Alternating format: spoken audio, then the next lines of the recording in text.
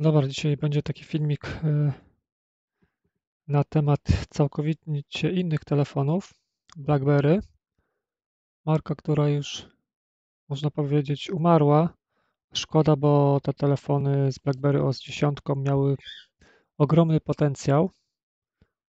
Niestety stało się jak stało.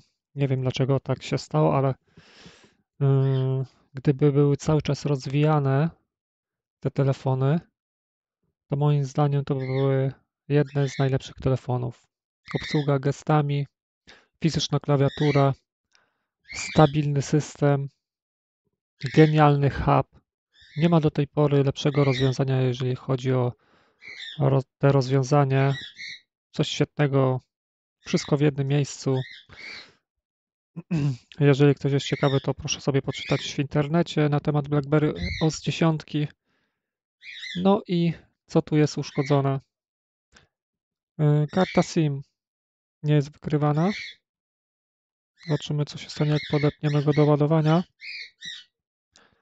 Karta SIM jest niewykrywana, także na pewno podejrzewam, że będzie uszkodzona yy, slot SIM. Telefon. Jak widać, ładuje się. Na razie 0,19 A, ale zaraz skoczy. 0,19. E, teraz będzie ten proces taki. Na początku zawsze e, telefon jest ładowany powoli, a potem wskakuje już na, na wyższe wartości 0,24 ampera jeżeli bateria się naładuje do iluś tam procent, telefon się włączy automatycznie. Ja na razie zrobię pauzę, dopóki on się nie podładuje, bo szkoda czasu, żeby ten filmik trwał dwie godziny. Także jak się włączy, to zobaczycie dalszą część. Także telefon się uruchomił. Tak wygląda BlackBerry 10. Niby nic specjalnego powiecie, ale no niestety mylicie się, bo to jest naprawdę specyficzny os. Widzicie, tutaj mamy różne aplikacje. BlackBerry Hub, który jest no genialna sprawa. Niestety Android czegoś takiego nie posiada tak dopracowanego jak BlackBerry OS 10. Są wszystkie w jednym miejscu pogrupowane wiadomości jak SMS-y, maile, Facebooki i takie inne.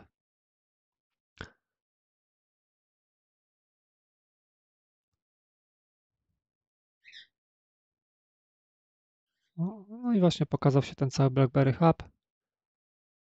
Właśnie tu mamy różne takie posegregowane jakby typy wiadomości. BlackBerry ID, powiadomienia. A to jest wszystko w jednym, pokazuje nam.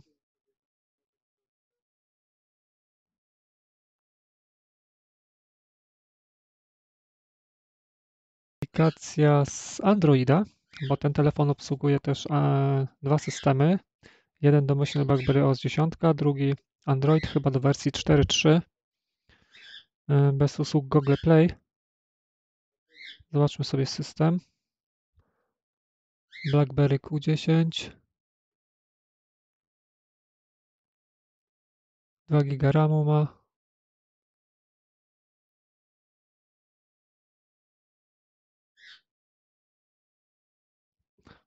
To jest system. Zobaczmy sobie procesor, jaki jest tutaj. E, Snapdragon.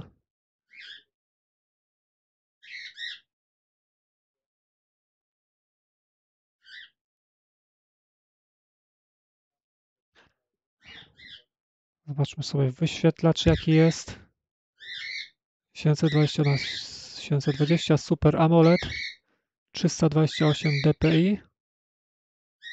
Bardzo dobra rozdzielczość. Odświeżanie 60 Hz. Autofokus.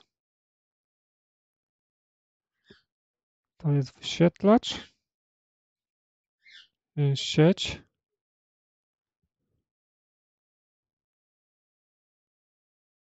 Wi-Fi T-Mobile 5 obsługuje 2,4 i e, 5 GHz.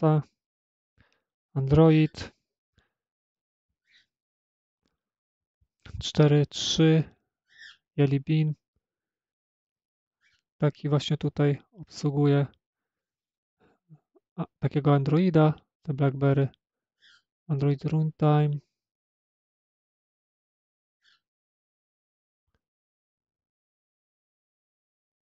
Także można instalować aplikację z Androida do 4.3, nawet jest, są specjalne pliki od Cobalta, które instalują e, Play Store i generalnie można instalować sobie ze sklepu aplikacje, które e, są do wersji 4.3 obsługiwane.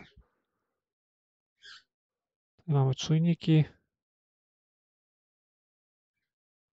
No i tak to wygląda. Nie będę Wam pokazywał teraz wszystkiego, bo to nie o tym filmik ma być. Filmik ma być o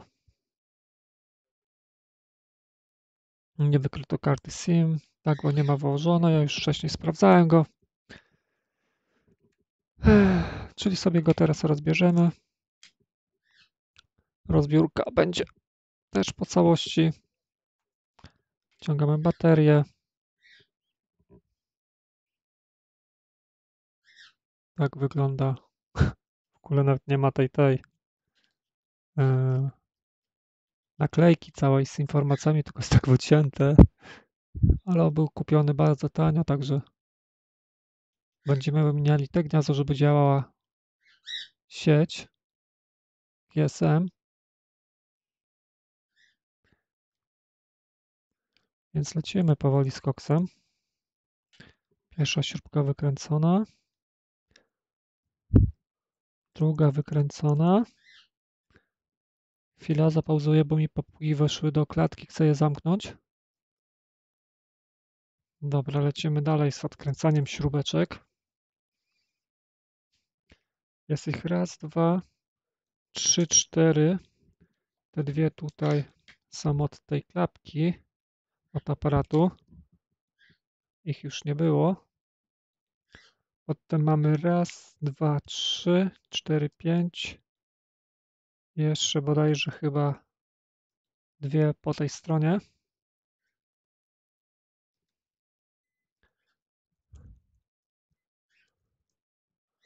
Trzecia. Szczęście wszystkie są takiej samej długości, więc nie ma obawy, że wkręcimy jakąś gdzieś indziej. Albo chyba te są dwie inne. Tak, te są dwie inne. Po boku tutaj są krótsze o wiele.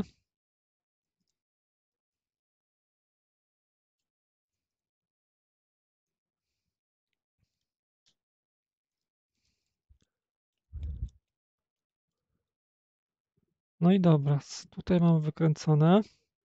Sprawdźmy sobie teraz, jak wygląda sprawa z tym. Czy to da radę otworzyć mi paznokciem?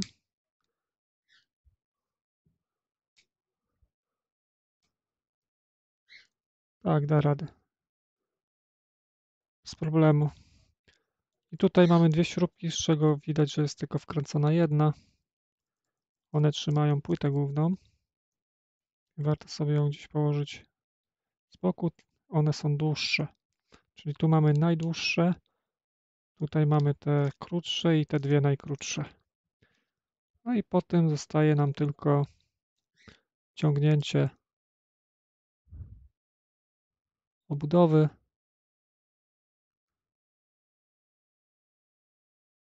Tak to wygląda. Mamy głośnik. Głośnik z mikrofonem połączony razem. Nawet widać, że jest ta gumowa uszczelka na mikrofon.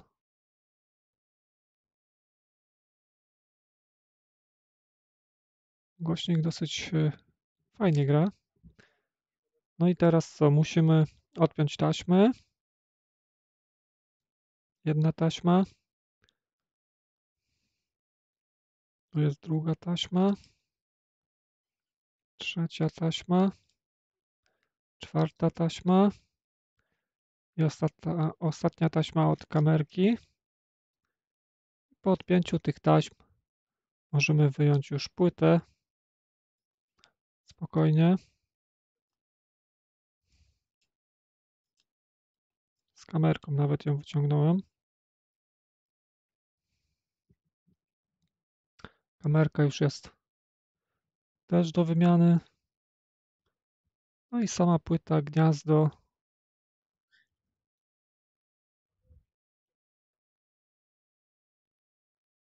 Widać mamy ekrany.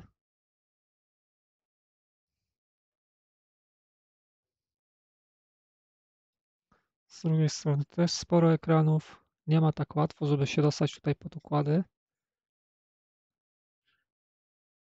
No i widać, że ten model posiada wyjście mikro HDMI i wejście mikro USB. Także możemy go podłączyć do telewizora tym mikro HDMI. Wtedy mamy obraz z telefonu na telewizorze.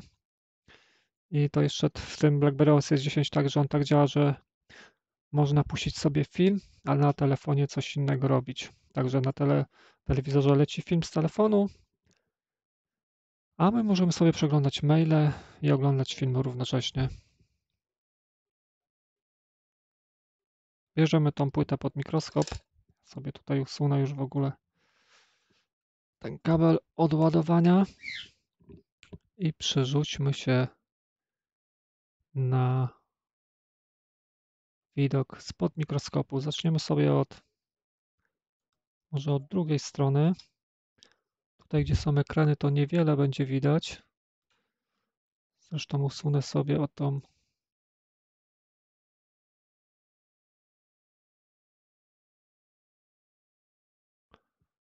ten pomiar odległości i zobaczmy, jak to wygląda.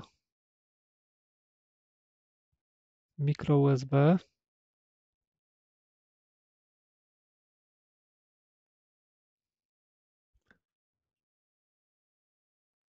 Mikro HDMI.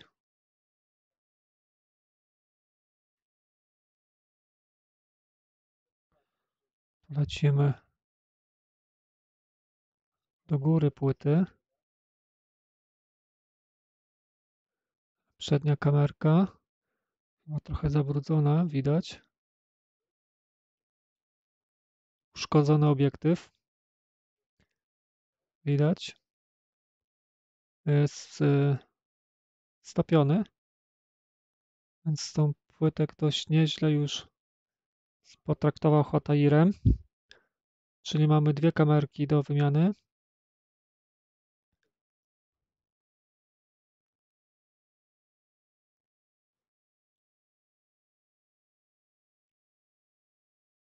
Tutaj mamy jakieś piny od nie wiem dokładnie czego, musiałem zobaczyć schemat. Druga strona płyty, czyli to będzie góra tutaj.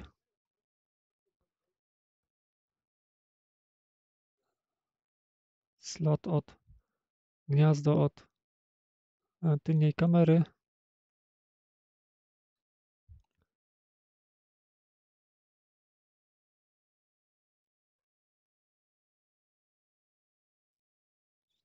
Tutaj niby wygląda to wszystko dobrze. Te nie są powyginane. Lecimy dalej. To też jest cały, niepowyginane. To, to jest całe. Warto patrzeć, czy są te styki niepowyginane, bo nieraz nie stykają i możemy nie mieć albo słaby zasięg Wi-Fi, albo inne niespodzianki. No i zbliżamy się do tego gniazda SIM. Gdzieś tu pewnie jakiś yy, pin nie styka, podejrzewam, bo są tako są trzy, widać, że nie są łamane. Chodzi mi o TT. Dokładnie. Raz, dwa, trzy. I jeszcze powinny być tutaj. Dokładnie też. Raz, dwa i trzy.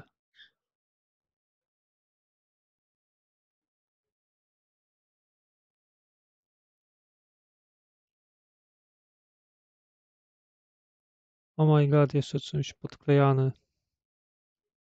Może być bardzo trudno to wyciągnąć.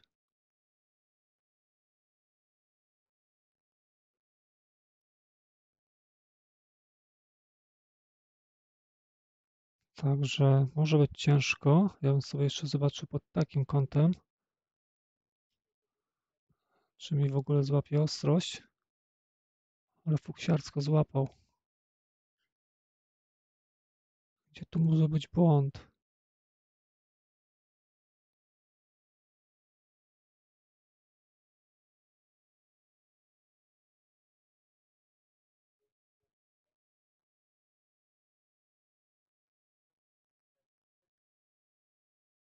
Podejrzewam, że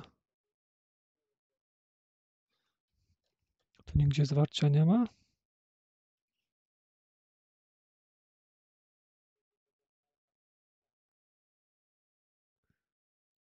Nie, ma. Być może tutaj się nie przylutowały pod spodem.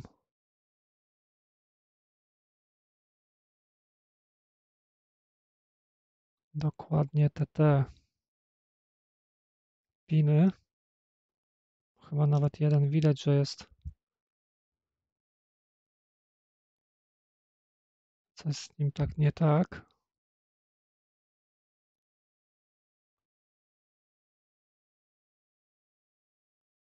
Są jakby przylutowane. Ten jeden nie. Aj, kurde, będzie ciężka robota. Nie wiem, czym to było klejone. Jak jakimś super glue to będzie masakra.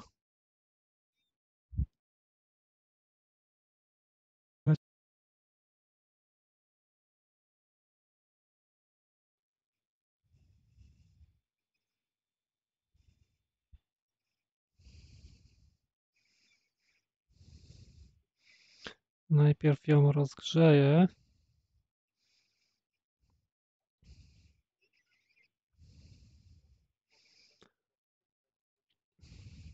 Y, na pewno nie jest wskazany pośpiech w takim wylutowaniu gniazda.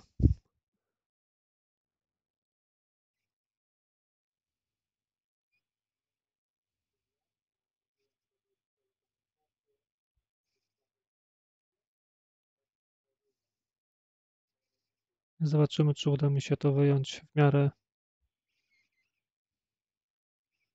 ok.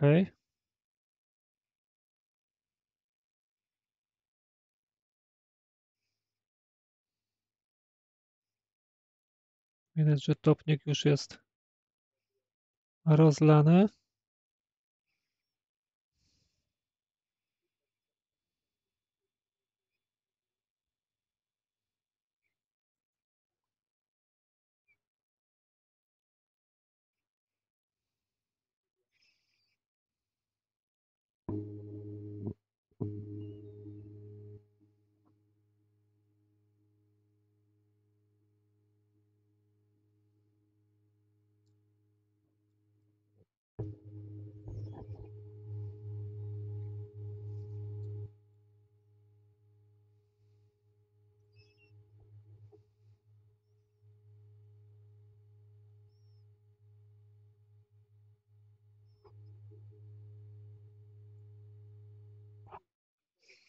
Powiem wam, że nie wiem, czy mi się to uda, bo ten klej trzyma.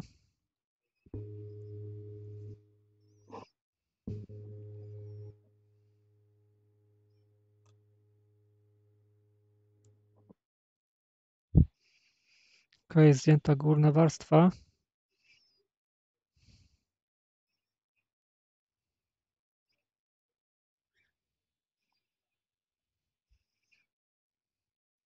Widzicie?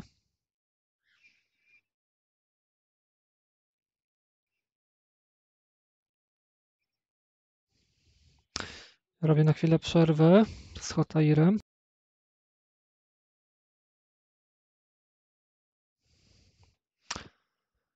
E, Rozłączyło mi kamerkę. Właśnie nie, nie działa mi coś. Ok, już działa. Gniazdo wylutowane.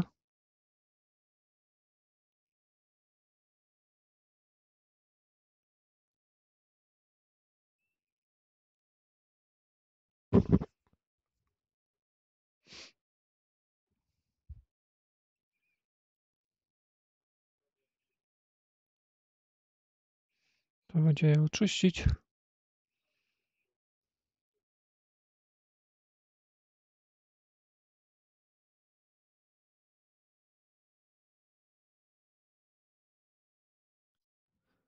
Dobra, teraz nagrywa.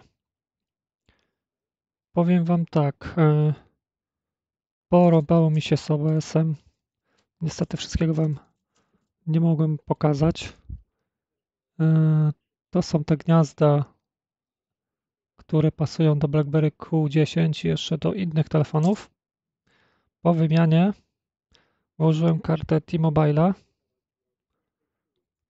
i mamy pełen zasięg, czyli gniazdo, zresztą mogę Wam pokazać.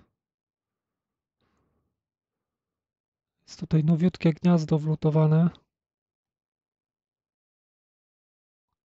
Yy, najwięcej zabawy miałem z tym klejem. Po prostu masakra. Na szczęście po podgrzaniu udało się go usunąć. Bardzo mi się przydały przy tym te nożyki, które kupiłem z ABRC. Genialna sprawa. Yy, Nie dałbym rady chyba zeskrować tego kleju bez tych nożyków. Także ja się cieszę, że telefon ożył. Zasięg jest. Zobaczmy sobie BlackBerry Huba. W ogóle wejdźmy sobie ustawienia sieci komórkowej. 3G. Zobaczmy, czy 3.2G wskoczy. Przełącza się.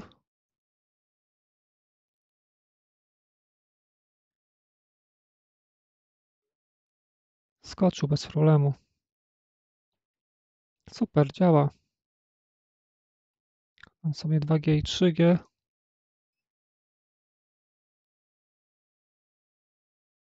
Zobaczmy sobie, czy wyszukuje sieci.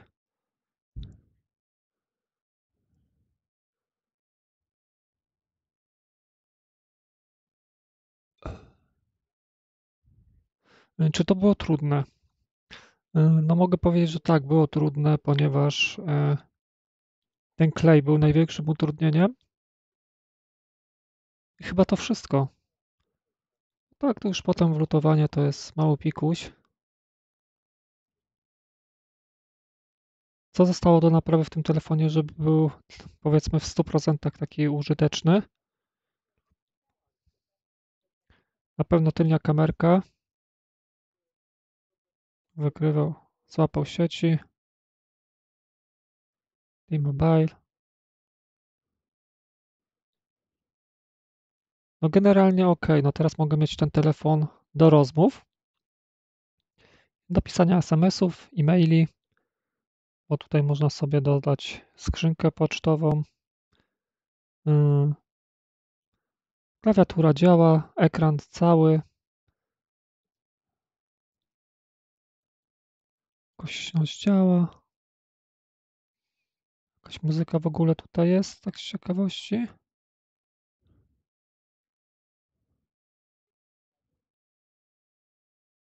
Coś jest.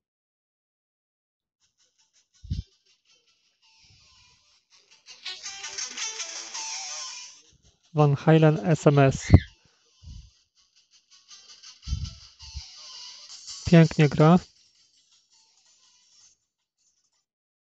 Super. Cieszę się, że udało się tego BlackBerry'ego przywrócić do takiego stanu, że można z niego korzystać jako telefonu do rozmów, y, do pisania SMS-ów.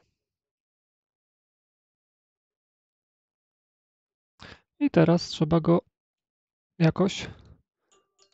O, jeszcze powiadomienie jakieś złożyć. Więc telefonik działa. Klawiatura QWERTY.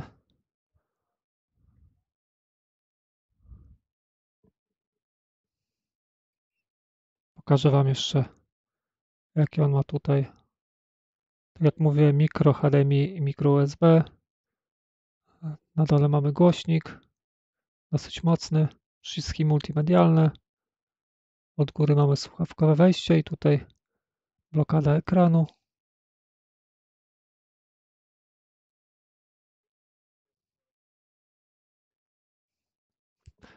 Mówiąc szczerze, jeden z najlepszych telefonów z BlackBerry. Genialny do obsługi jedną ręką. Yy, Reasumując, do rozmów i SMS-ów i e-maili jest bardzo, bardzo, ale to bardzo dobry telefon. Jeżeli chodzi o aplikację, można instalować z Androida do 4.3. Yy, Można chyba nawet, można nie nawet, można używać Olixa, Allegro. Chociaż już nie wiem jak jest teraz, bo już dawno się w to nie bawiłem. Także nie chcę Was okłamać. Ale generalnie tak. Jest to bardzo dobry telefon ze stajni BlackBerry z tych starszych osób. No, znaczy starszych osób na tych y, opartych na BlackBerry OS 10. A tutaj włożyłem sobie Samsunga, tego, którego robiłem. Włożyłem też teraz przed chwileczką kartę od siebie Playa. I powiem Wam, że też wykrywa bez problemu. Też działa sieć, jak widać. W Playu nawet można pójść do opcji sieć internet. O, Play.